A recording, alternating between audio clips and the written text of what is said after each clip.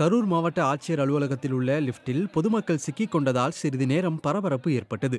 தொழிலாளர் நலத்திட்ட உதவிகள் வழங்கும் நிகழ்ச்சி இன்று சனிக்கிழமை கரூர் மாவட்ட ஆட்சியர் அலுவலக வளாகத்தில் நடைபெற்றது.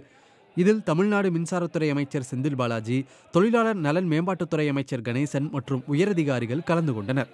நிகழ்ச்சி முடிந்து அரசு அதிகாரிகள் மற்றும் பொதுமக்கள் விஐபி லிப்டில் தரைதளத்திற்கு செல்ல முயன்றனர். அப்போது லிஃப்ட் தரைதளத்தில் கதவு திறக்கப்படாத நிலையில் பழுதடைந்து சிக்கிக் கொண்டது. இதையடுத்து ஆட்சியர் அலுவலகத்திற்கு விரைந்த தீயணைப்புத் துறையினர் சுமார் நாற்பது நிமிடங்களுக்கு மேலாக போராடி லிப்டில் சிக்கிக் கொண்டவர்களை பத்திரமாக மீட்டனர். உடனடியாக அவர்கள் நூற்றி எட்டு ஆம்புலன்ஸ் மூலம் முதலுதவி சிகிச்சைக்காக கரூர் அரசு மருத்துவக் கல்லூரி மருத்துவமனைக்கு அனுப்பி வைக்கப்பட்டனர். பயப்படாதீங்க பயப்படாதீங்க.